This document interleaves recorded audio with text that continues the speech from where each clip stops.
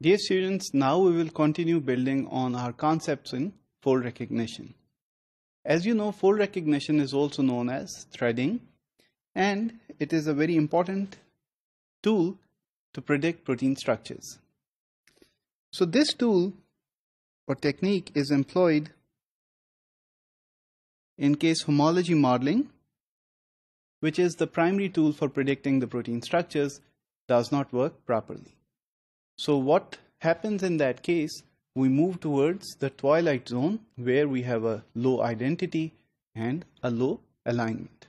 So here let's work on an example to find the best fold for a sequence. So the best way to find that is to mount the residue sequence, that is the primary sequence of a protein, onto a known protein structure.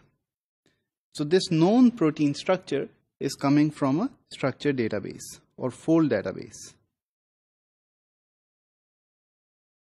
One of such databases is called SCOP,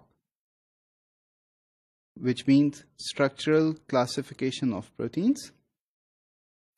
So let's say if you find this structure in the SCOP database, then what you do is you put your sequence along the backbone of this structure and you see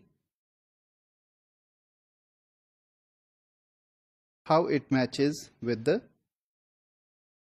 fold from the database. So as you can see in this case this portion matches really nicely with the fold but this portion does not match with the fold. So such a situation can vary if you keep changing the fold. That is, if you have, if you keep bringing different fold structures, then you can find different alignments between your sequence and your fold. Now, once you have performed all such alignments, you will find that fold from the database which matches your sequence perfectly. So in this case, the circles, they are the amino acids.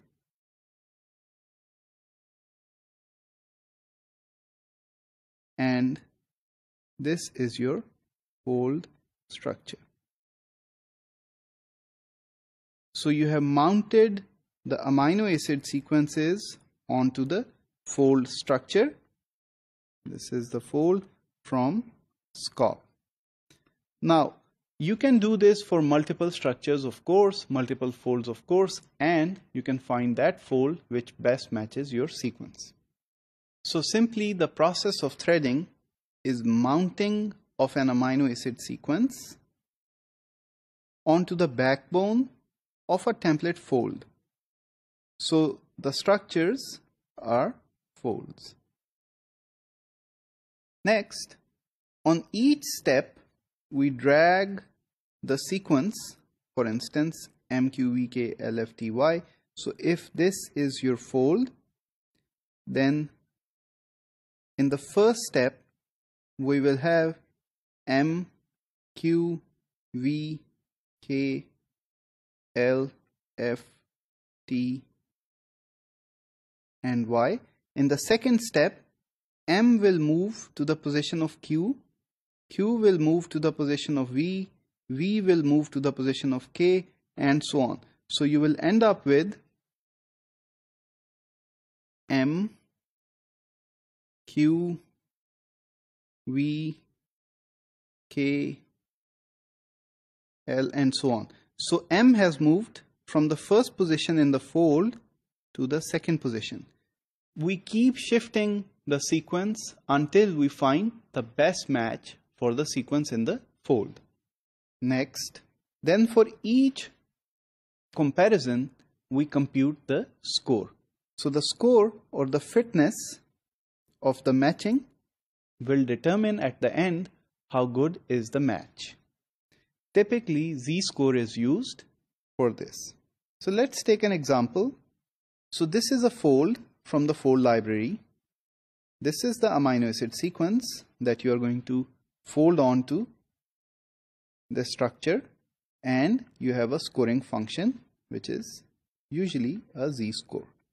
Then you input these three things into your threading software and the output is a structure that is like this.